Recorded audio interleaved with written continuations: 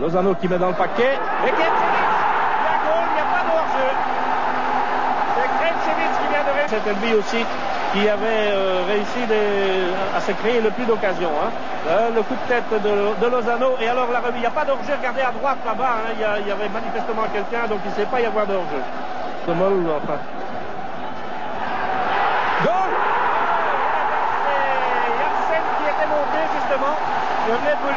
Les Anderlechois et avec les grands devraient monter. C'est ce qui est arrivé. Ça fait 2 à 0. Ça prend vraiment une excellente tournure pour le Sporting d'Anderlecht.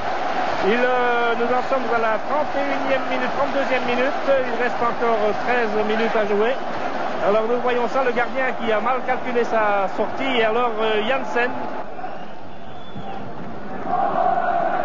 Interception de Janssen. Balint, bloqué par Janssen. Lozano, c'est bon en direction de Good Johnson. Good Johnson. euh, et.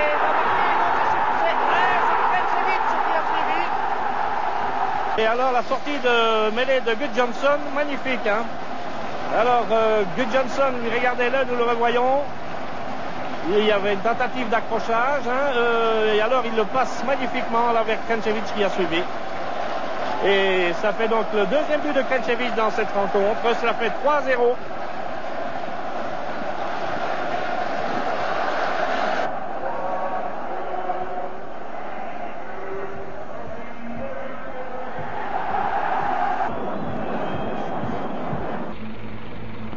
Calificarea părea încă posibilă, mai cu seamă că reveneau Bălăni și Lăcătuș, dar 5 noiembrie 1986 nu avea să fie ziua stelei.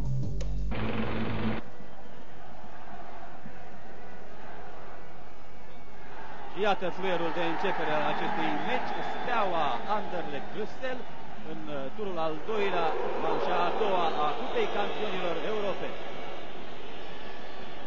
Un Balint. Iată, el încercând să treacă în apărarea, evident, supra numerică a oaspeților și este faultat de Grun. Gălăni, Țurcă, Primește Bălan. Iată minge spre Balin, care a fost obstrucționat evident de Anderson. Arbitru Galer nu a fost de aceeași părere. Lozano se pare că a comis un lenț. Spectatorii aflați uh, pe partea aceea a terenului au văzut destul de bine. Iovan, Belodedici, Țurcă. Schimb frumos cu Balint, iată din nou Pisurcă și spre Balint, dar acolo Van Tigelen s-a opus și Munaron a prins. Urmează Pavel Găgian. În Stoica, iată, intercepție frumoasă, fază periculoasă, Stoica în careu, este Balint acolo.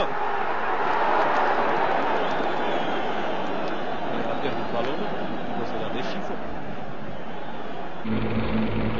Este Stoica și Balint. A driblat frumos pe Van Tigelen în ciuda faultului făcut de jucătorul olandez. Iată acum pe în poziție bună pe Lăcătuș. Vine acolo Bălan care șutează. Scoate.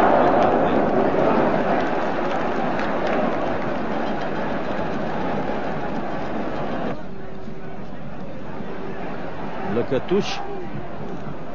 Acum Gălăni spre Stoica. Gălăni din nou se luptă și recuperează. Să vedem ce vor face acolo Pițurcă. Trage Mali. Apăra spațiului de joc. Interceptăm prin Bălan, Stoica. Ar trebui poate să accelereze jucătorii noștri. Lăcătuș în fața sa același Anderson. Încercare de angajare a lui Pițurcă. Iată pe Pițurcă în careu. Da, vine Lăcătuș acolo care trage pres.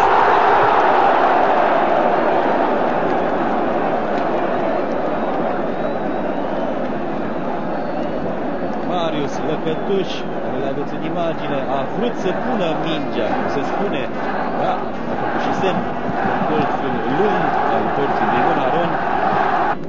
Trebuie să amintim totodată că în meciul din tur, echipa noastră campioană a prezentat numai puțin de patru tineri jucători debutanți în cupele europene intercluburi. Centrarea lui Stoica, Lăcătuș și Pițurcă au fost la minge, din păcate nu au simțit, nu s-au simțit reciproc.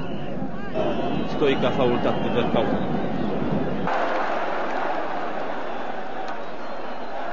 Pițurcă, trecere superbă și acum încercare de pasă, da, este Balint acolo, să vedem ce va urma.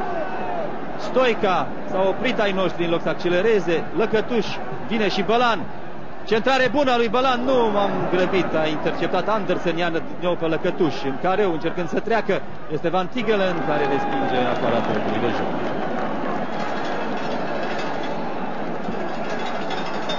Excelentă trecerea lui Victor Pinturcă pe lângă un adversar, am văzut uh, dumneavoastră. Din păcate, faza și-a oprit din viteza necesară, în loc să fie accelerată la marginea terenului, la marginea careului.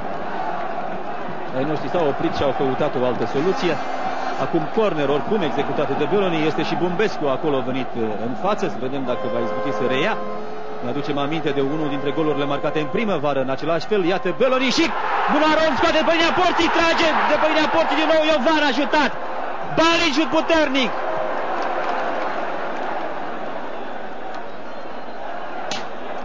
Și de la margine tușierul acesta indică offside la Beloni fază incredibilă, min, ultimul minut de joc, stimați telespectatori. De două ori au șutat ai noștri, de două ori a fost scos balonul de pe linia porții. Repriza a doua începe bine pentru Steaua cu o execuție splendidă a lui Belloni și cu un hands făcut pe linia porții de Grün. Penalti.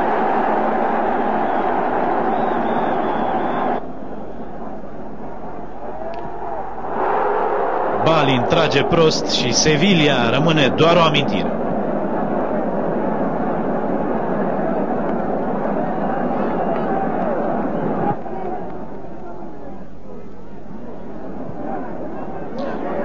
Steaua atacă furios. Lăcătuș întoarce o minge pentru Beleniș și este 1 la 0. Loții Beleni nu are timp să se bucure mai sunt 15 minute și încă două goluri de înscris.